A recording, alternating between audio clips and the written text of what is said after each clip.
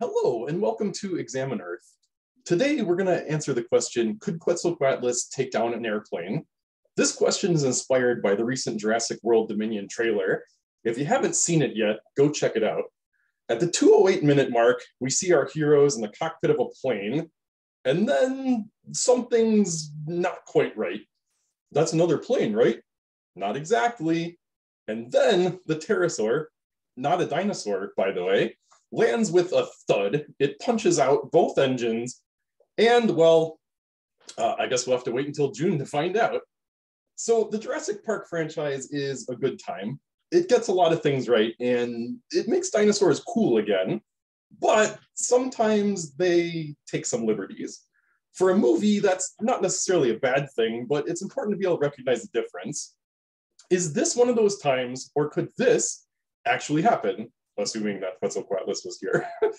uh, well, let's get ready to rumble! In this corner, the C-119 flying boxcar, and you can see why it's called that.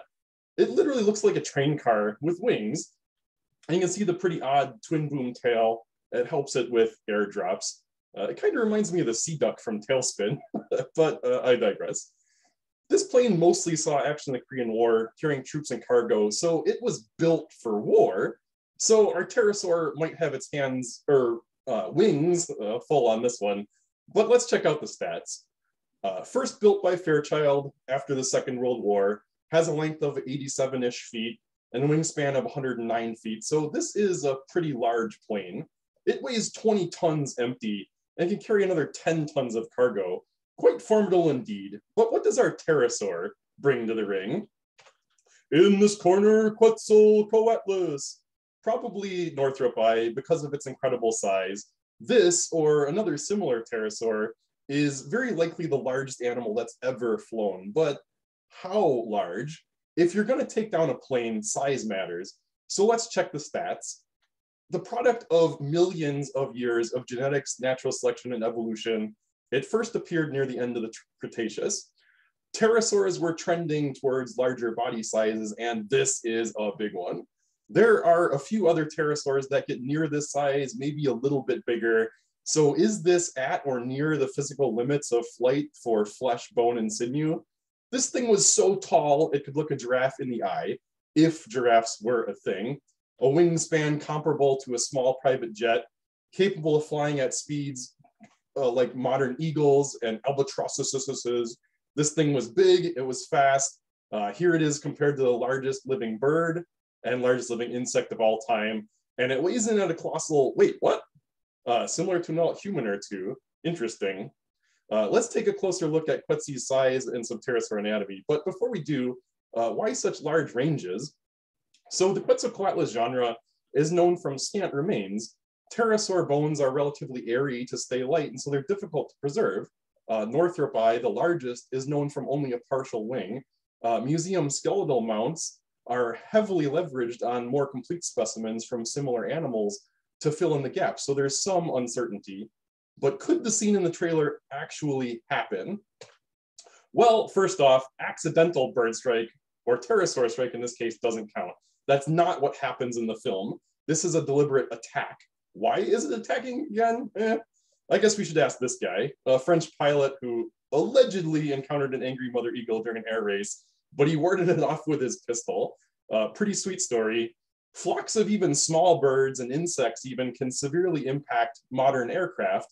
Uh, most large strikes involve vultures or Canada geese, and the strikes are most dangerous when striking the windshield or the engines. Uh, probably most famously, Sully Sullenberger's plane, hit a flock of Canada geese, but then he managed to safely land it in the Hudson River.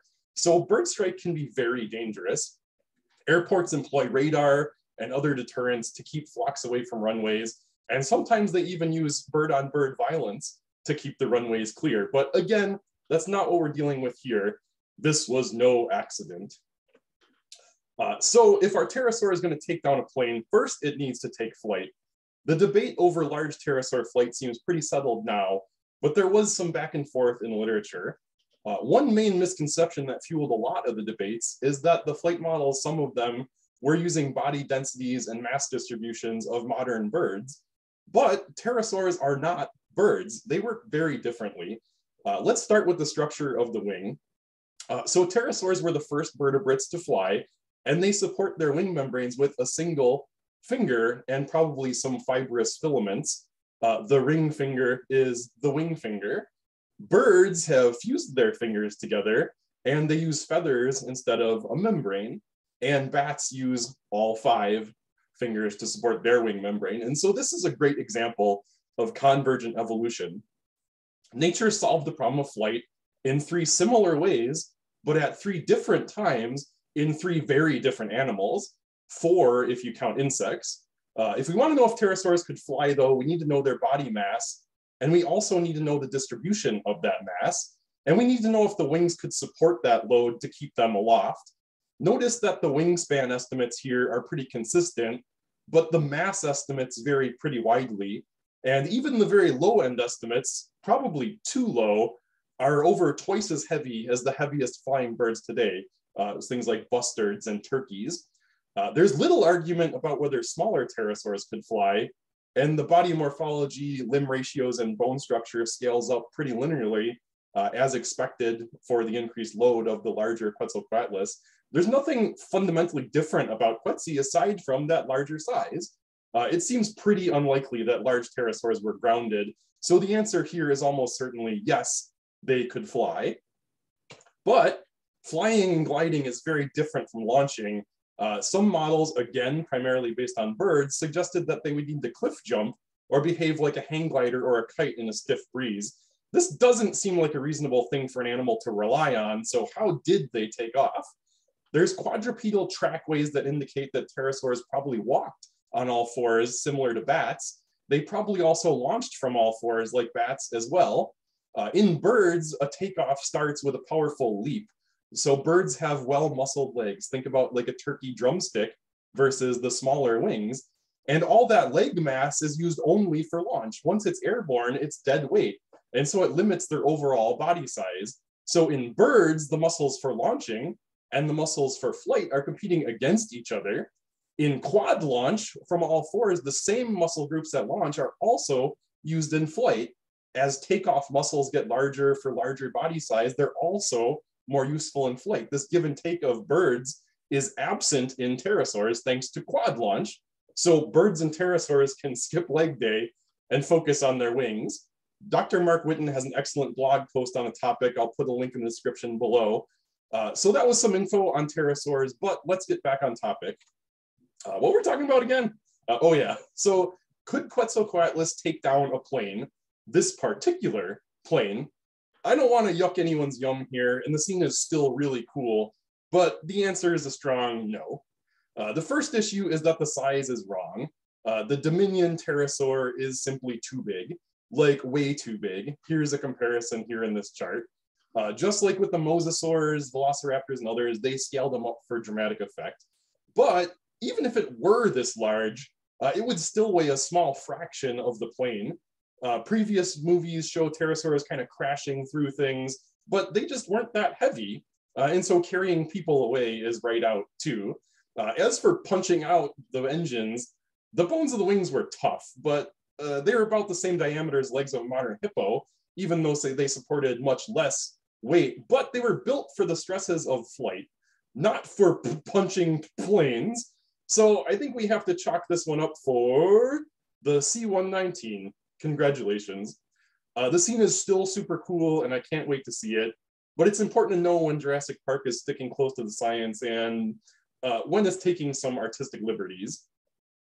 Uh, if you want to know more about pterosaurs, uh, please check out my free dinosaur video course. Uh, up here somewhere is a link to this Not Dinosaurs video.